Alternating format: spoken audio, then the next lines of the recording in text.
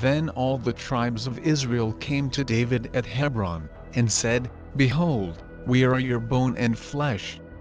In times past, when Saul was king over us, it was you that led out and brought in Israel.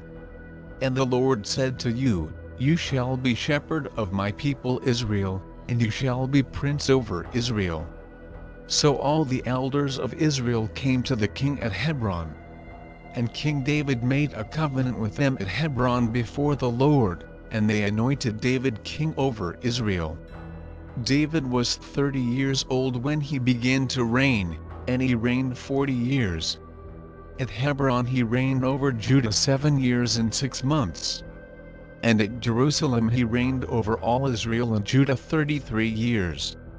And the king and his men went to Jerusalem against the Jebusites, the inhabitants of the land, who said to David, You will not come in here, but the blind and the lame will ward you off thinking, David cannot come in here. Nevertheless David took the stronghold of Zion, that is, the city of David. And David became greater and greater, for the Lord, the God of hosts, was with him.